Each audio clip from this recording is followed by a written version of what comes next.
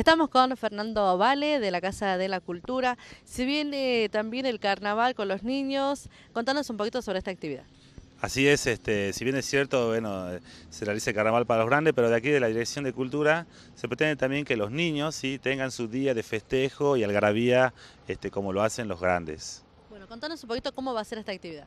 Bueno, esta actividad se va a realizar aquí en la Casa de la Cultura, sí, el día miércoles 10 de febrero, en el horario de 16 a 19 horas, donde se le va a invitar a todos los niños de aquí de Palpalá que vengan aquí a la Casa de la Cultura con sus disfraces. También se va a invitar a los niños que este, están en las diferentes comparsas que van a salir en los cursos de Palpalá y también a los niños que eh, se acerquen y no tengan este disfraz, desde aquí de la Dirección de Cultura se les van a regalar ¿sí? unas máscaras que estamos preparando para que todos los niños puedan participar de esta gran fiesta. Bien, una tarde de colores y alegría, juegos van a haber durante la jornada. Claro que sí, va a estar este, amenizando la tarde en la conducción y animación, van a estar los payasos, ¿sí? tomatito y trompita, también vamos a invitar algunos números musicales para que todo sea una fiesta con espuma, con talco para todos los niños de Palpalá.